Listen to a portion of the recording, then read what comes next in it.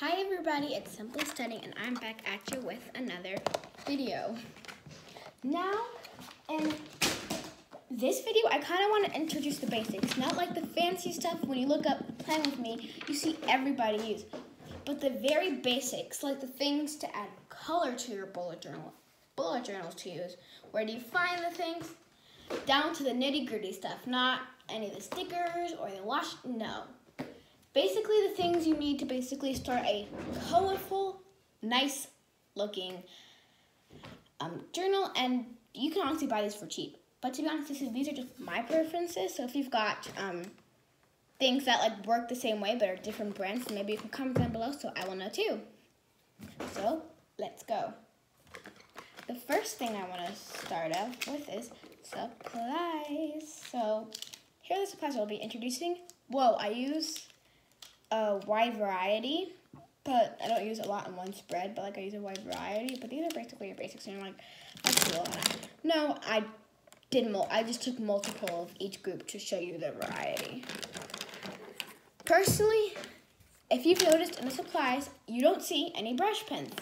You don't need brush pens to start a successful bullet journal. Crayola Super Tips give you the same effect brush pens do, plus you're able to color with them.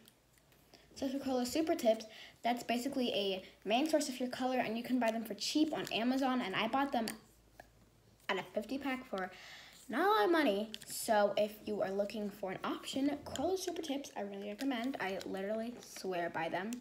I'm pretty sure we've all used them in kindergarten, so you know. Second thing is weight, but I do see a brush pen. Yeah, you do. You do. You do. That is basically a black base. Now, I just chose brush pens because those are the black base I have. But again, this goes back to one of these. If you got this, you'd have it. But this came with a pack. So I thought I just might as well show you the options that you can get basically a, just a plain black brush pen because sometimes you don't need to do your headers in fancy colors. You just want a really pretty black header and that's fine. I'm wondering, Tombow dual brush pens are so expensive. Why can I get a really good alternative? Well, I already gave you one. Well, I'm gonna, I already gave you one, but I decided, you know what, I'm going to give you another one. Another one is King Art, their watercolor brush pens. Personally, I've used them. They're pretty okay. If you're, like, good at brush pens, then I'm pretty sure you'll be able to handle these, but they definitely are not the best. But, um, if you're looking for something cheap that literally does the same job and, like, that grades a journal. It comes in a wide range of colors, then this works because it has 36 different colors. So even the time it comes in more, you'll definitely be packed and set with these too. So next thing is what you're gonna write with. Personally, I brought, of course, because I'm me, I brought out two gel pens, my favorite types of pens ever. So I just had this Tammet one, and this came in 36 pack. But you know, you don't have to buy the 36 just buy like if you have a good gel pen at home, you can definitely use that. But then I also have this, and this came in a 12 pack. But ballpoint pens are also really good, but I personally prefer when I'm writing to use these. I just think it's easier for me. I think it just glides smoother on the page and it is less skipping. A pencil is always a good choice because personally for me, just to ensure that I don't make any mistakes or make at least or at least minimize my mistakes to the point where I can cover them up with like some craft paper or something like that is to always sketch everything out in a pencil. So a pencil is a must have. And personally, I prefer one with eraser, but right now I have don't have one, but I used to have on a pencil case, but I don't know if pencil case is than my eraser is. But that's beside the point. Next one is fine liner. Now, get ready or not, but this can also be used as a fine liner, but that's not what I'm to go in.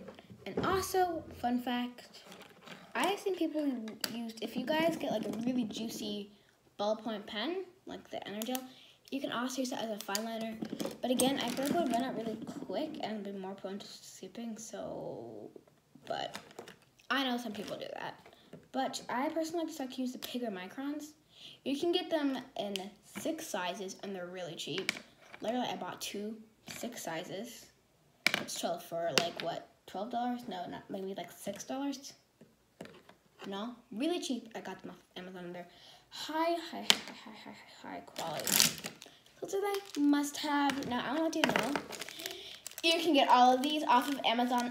Believe it or not, I actually got all of these off of Amazon because I'm too lazy to put my button. Oh, I got these all before the coronavirus hit. So when I'm talking going to stores with that mask and stuff, it's because at the time, you know, we didn't have to. I was too lazy to, you know, get my butt outside and go to Target and buy these. So I decided to shop on Amazon and make Jeff Bezos 10 times richer. Right? Mm-hmm. so, the journal I also bought on Amazon. Honestly, I recommend like a Scribbles Pro or a Leuchtturm. But of course, those are just too expensive for me. So I bought a Paloma. It doesn't have that many pages, but it works. I mean, but I'm gonna use it until it runs out of pages. And then probably I might invest in something better. I did like this because it came in a wide range of colors, but I chose the gray because I feel like it's a very universal bullet journal color, and I think it's really cute too. So why wouldn't I choose the gray? And I just got a basic dotted grid notebook. If you guys can see it, it's like dots. So that's pretty good. But um, those for me are at least my essentials and things like if I had to choose, I would like, you know, you know, you know. So I hope you enjoyed this video and um, found this helpful if you were looking to invest in a bullet journal, want to do it for cheap but you don't really know where to start. This video should give you a big thumbs up and comment down below if you want to see my favorite journaling surprise. Basically, I'm going to my favorite, which sometimes means they're more expensive, but it really doesn't matter. You don't have to, but if you just want to see my personal favorite, maybe you want to go check them out. Who knows? Then maybe um, you should comment down below, like, subscribe, and hit the notifications bells so you might be able to see that video and more videos that will come out. Love you guys. Simply Studying out.